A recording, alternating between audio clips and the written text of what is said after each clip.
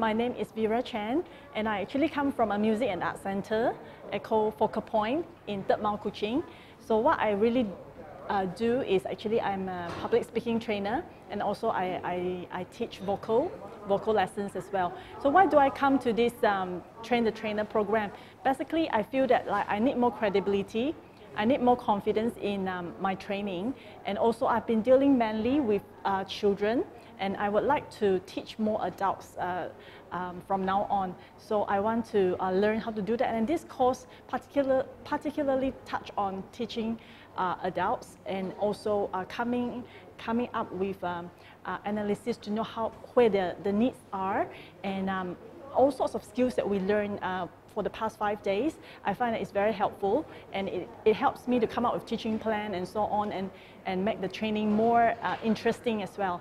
So um, I'm very happy to be here and I really um, thank um, Jackson and uh, Masters Trainer for this opportunity. Thank you.